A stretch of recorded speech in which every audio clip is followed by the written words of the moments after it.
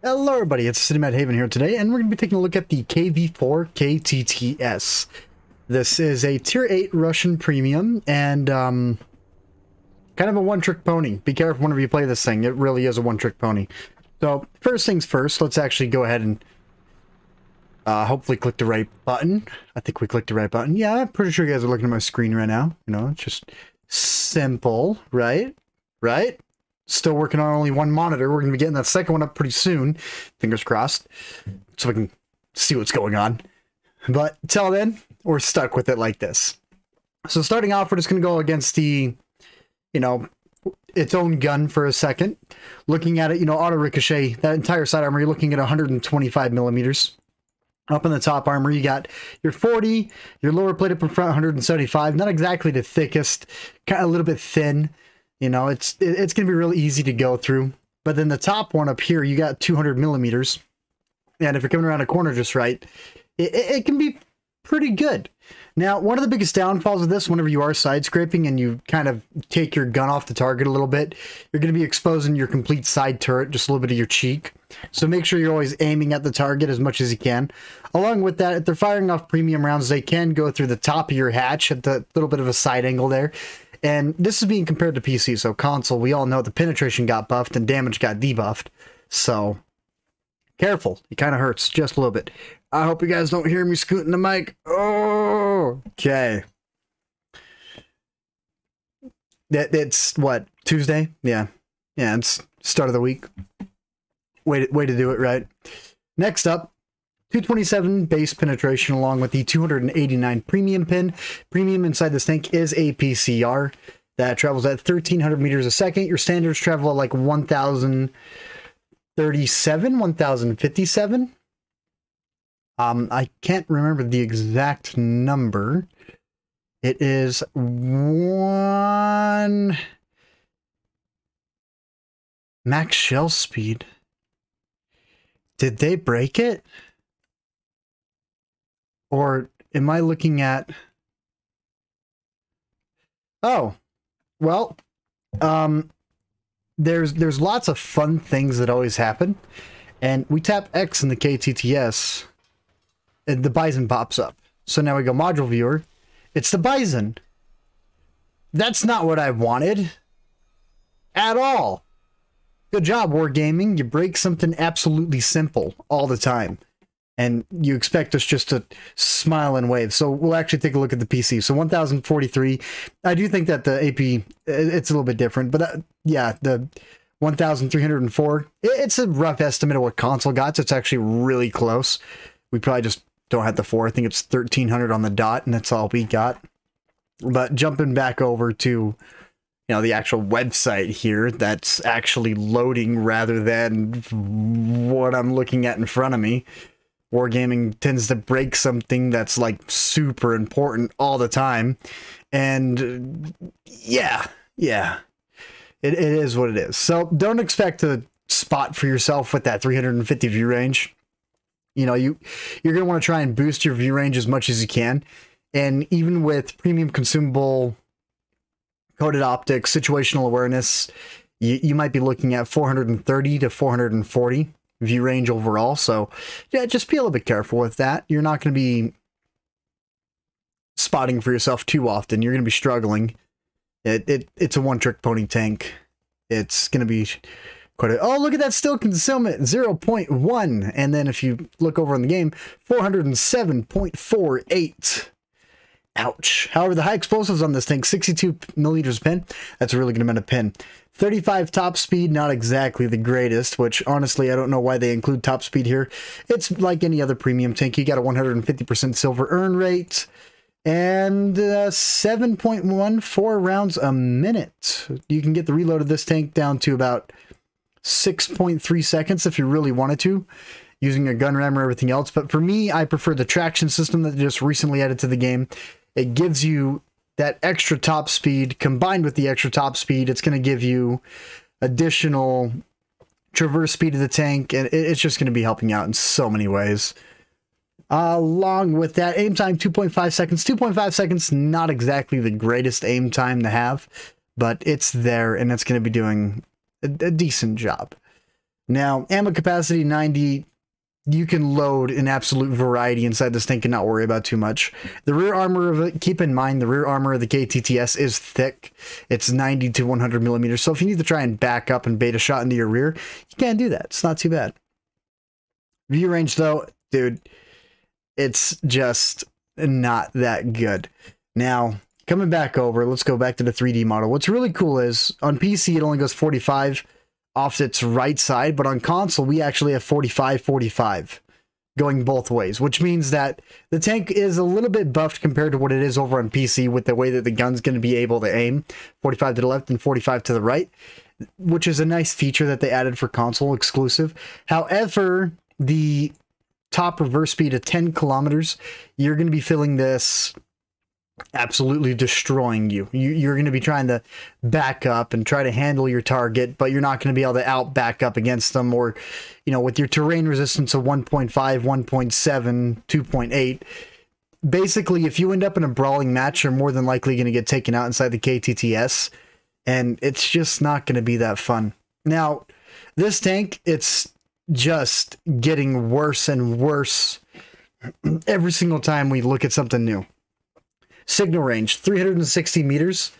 Yeah, that's you're you're not going to be able to call for help anyone past your render range at all. You can request fire, they're not going to get the signal. You're going to spot out a target, they're not going to see them if they're not within your signal range.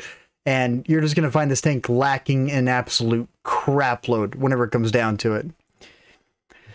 Other than that, dispersion value is 0.36. I am running a super crew in this tank, and sadly, each time I load the uh, module viewer, it brings up the Bison. So, thank you, Wargaming. You like to break stuff. I actually wonder if we were to go ahead and actually do this. Let's go ahead and come over to the KTTS. We're going to add favorite. Head back over to favorites. And now it's the only tank in this list. And why is the Bison there? Okay, customize.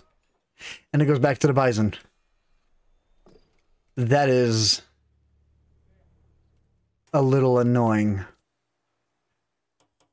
I'm sorry, you guys. This is they they tend to break stuff and then it's my job to try and find out how to fix it to make it work. And I don't think it's gonna work. Bison? Oh. I wonder if we can go like really fast. Did a no. All right. Oh well, but we're going to be playing it live today. Keep in mind, I personally do not recommend this tank at all. It is just lacking in so many ways, and with all the new bigger maps that they added to the game, this tank is just not worth pulling out. However, just popping in the store is the uh, TS5, the Bone Shaker. I would recommend the unskinned variant of that over the KTTS. KTTS is probably going to get a, get its butt whooped by the TS5 when it comes down to a head-to-head fight. Especially since the TS5's got a 400 alpha rather than a 320 and maybe a whole nother second on the reload. I would much rather see TS5s in the field than this tank. Because this tank, it's lacking in a lot more ways than just one. Your top armor is only 40 millimeters, which means against most tier 8s that have 122s or tier 9s or 10s, they're just going to be overmatching your top armor. Along with that, it's just, it, it feels like a one trick pony that can't move too much. And it, it's really sad to see that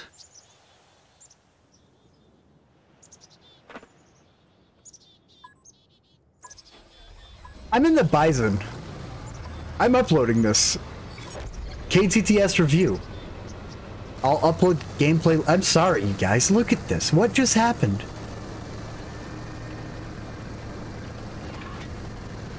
What? Made you think I wanted to pull out the Bison? I don't even have a crew on the Bison.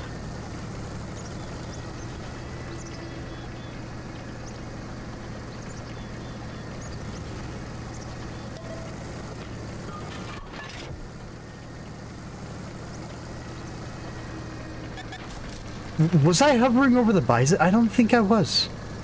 I think I specifically selected the only tank in the garage to be the KTTS. And just keep in mind, don't buy it, dude. KTTS is just beyond horrible. I'm not lying. It's not worth it. But what is this? Why am I in the Bison? I don't remember selecting the Bison. Wargaming, you messed up again.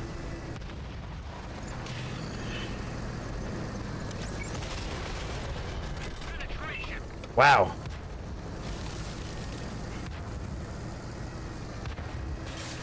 Uh, would be nice to have some teamwork right here. Ooh, Hesh rounds. You're making mistakes, my friend. And I'm going to make sure I take full advantage of your mistake.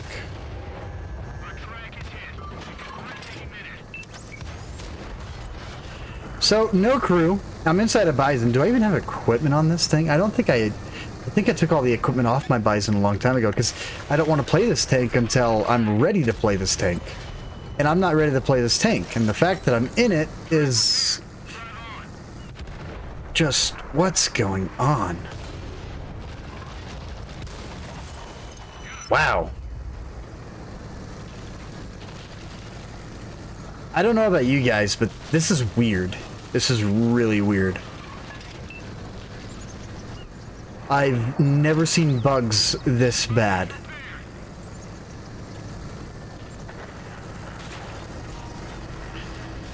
Well, it happened, and th there's no going back. We're we're gonna call this good. It's June 1st, by the way. This is how broken the game is in June. My birthday is right around the corner, and my favorite game's broke. Which means my birthday, I might just play Skyrim. I don't know.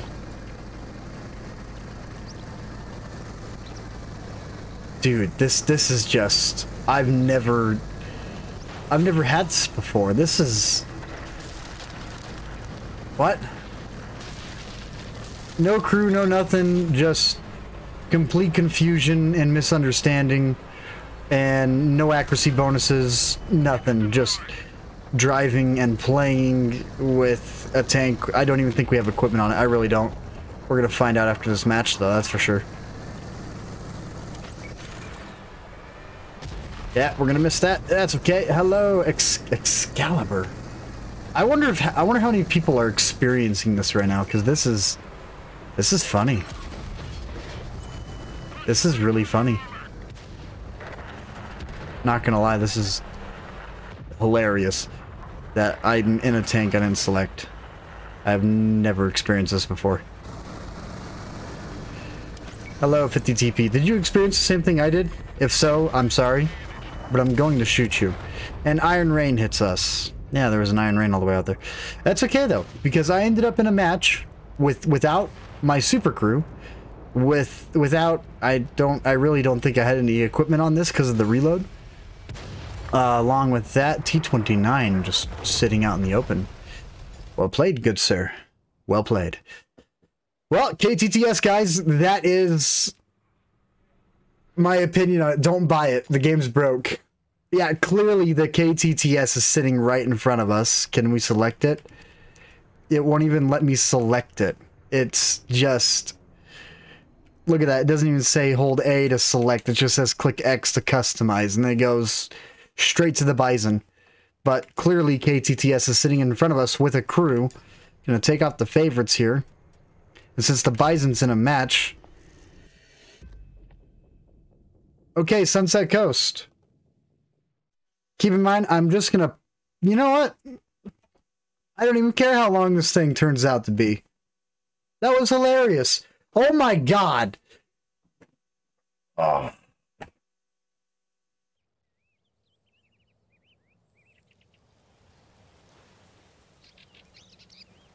Dun dun dun dun dun.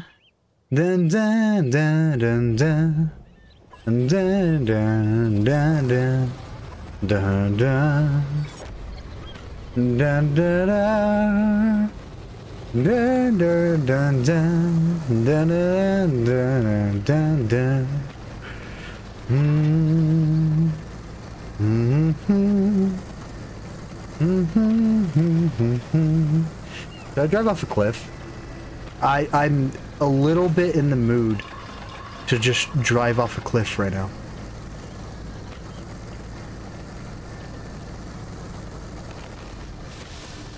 A little bit in the mood to just to drive off the cliff.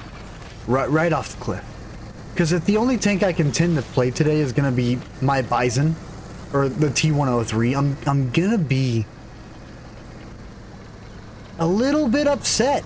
And clearly, I'm, I'm happy I'm recording and playing live today because I selected the KTTS twice. 2021, the things we expected Wargaming to do, and they broke it again. Uh, what makes you think I wanted to play the Bison? I don't think I ricocheted around from that Trailblazer, no. There's another medium light tank over there, but whatever, I don't have a crew. I have no clue what's going on. So, I'm just gonna go hug a wall, block shells with my barrel, and...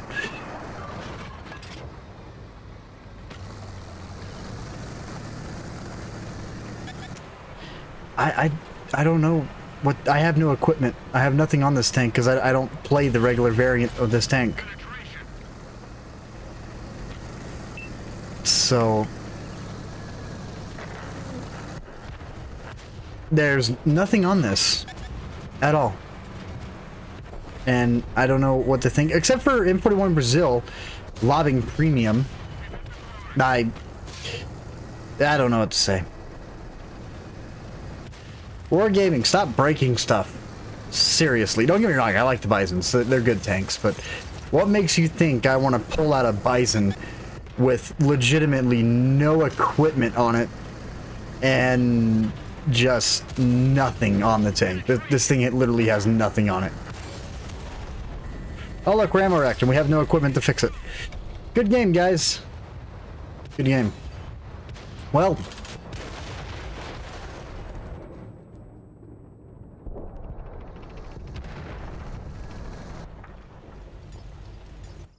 Uh, how many more tanks do we have to go through to be able to play a match in the KTTS?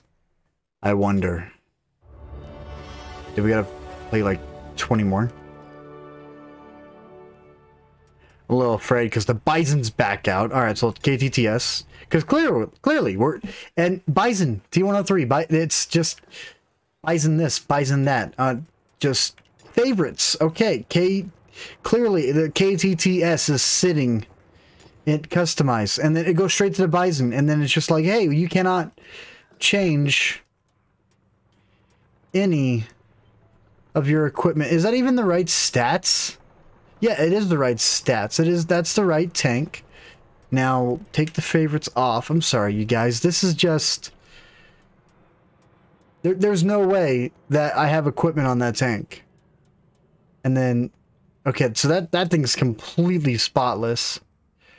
Shas I would have rather ended up in the Shaska for crying out loud. At least that's got concealment. But Bison. KTTS. And then, hello, Bison. How are you? All right, well, um... Hope you guys enjoyed. I, I know I didn't. But KTTS, don't buy it. Don't do it.